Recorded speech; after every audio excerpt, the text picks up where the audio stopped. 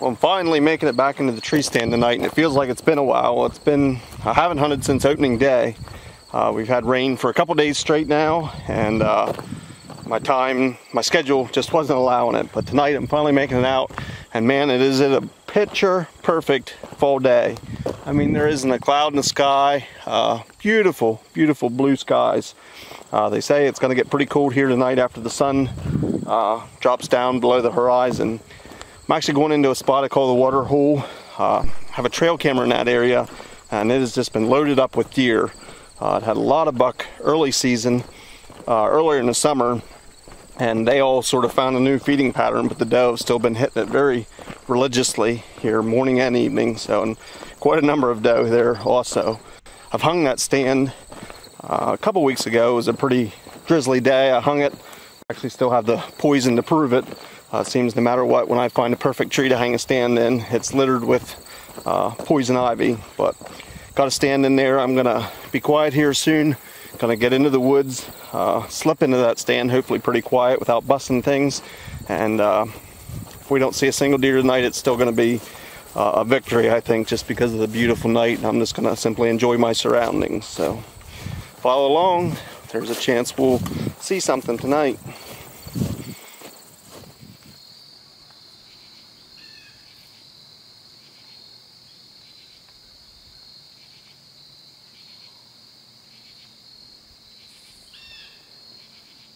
Well, I made it in here, and I think I made it in clean. I didn't see any deer, hear anything run as I got in here, but man, did I work up a sweat. Uh, we have a little bit of a breeze here this evening. It has a easterly component, which is exactly what I need, but it's a north, east, northeast wind.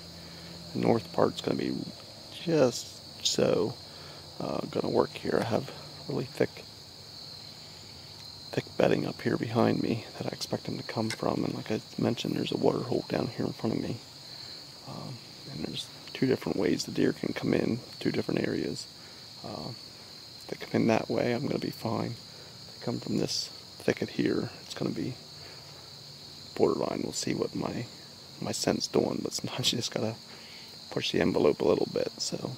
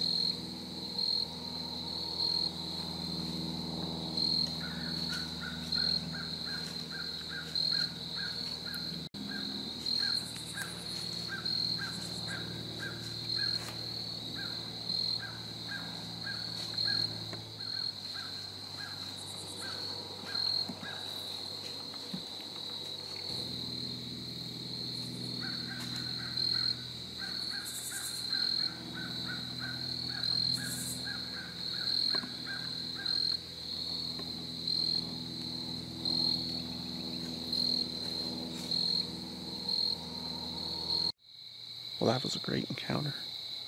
Had that her fawn come right into the water hole. Did exactly as I had planned. Had her at 21 yards, I think. I ranged her when she was standing there broadside, but a little bit of a limb with some leaves. Uh, while she was at the water hole.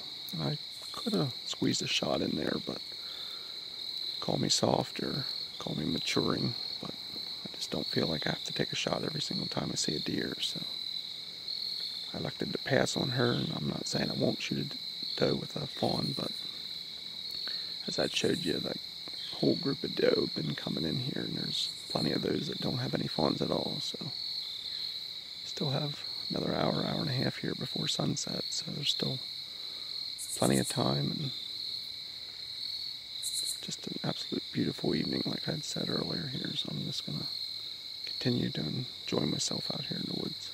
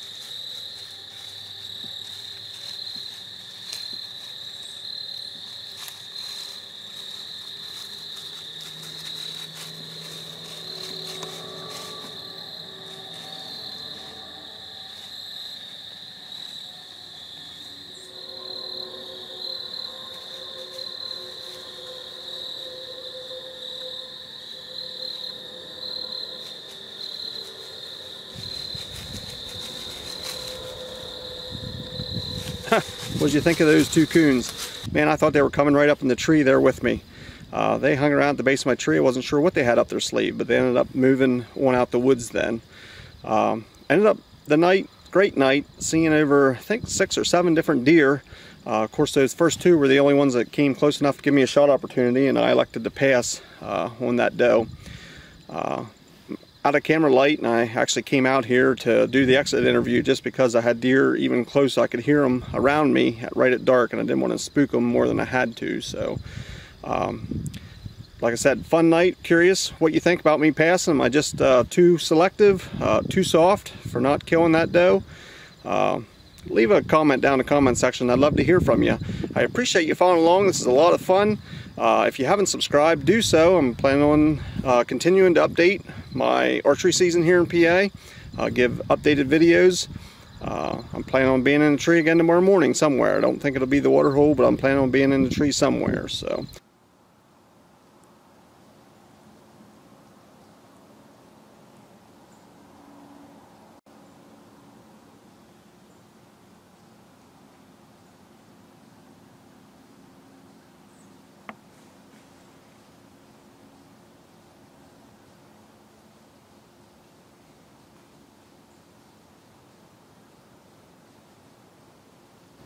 There we go, Mr. Coon.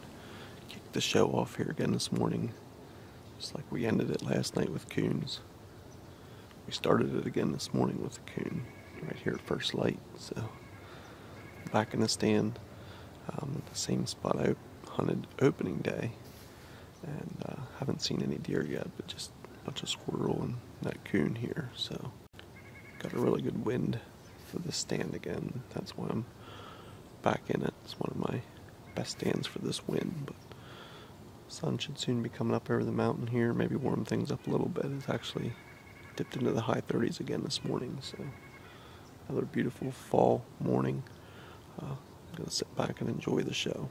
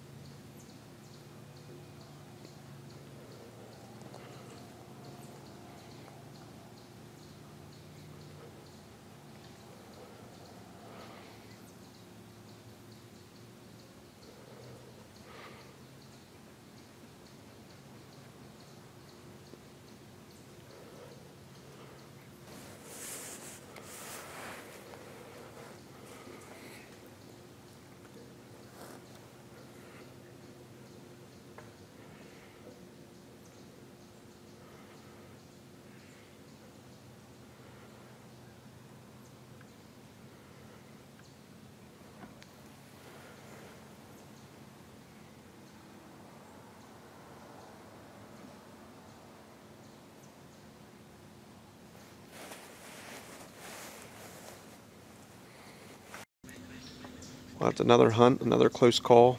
I've been on deer. We've been close about every single time. Just can't quite get all the pieces to come together. My wife told me she was very adamant we are very much in need of venison, so she's ratcheting up the pressure. So I got to get it done here one of these times, and we're close. It'll come together here, uh, hopefully sooner than later. Well, that's pretty well going to wrap it up for this morning's hunt. I'm going to pack up my gear and get it out of here. Uh, I appreciate you following along. This is a lot of fun. I'm going to continue to do updates as my season unfolds here.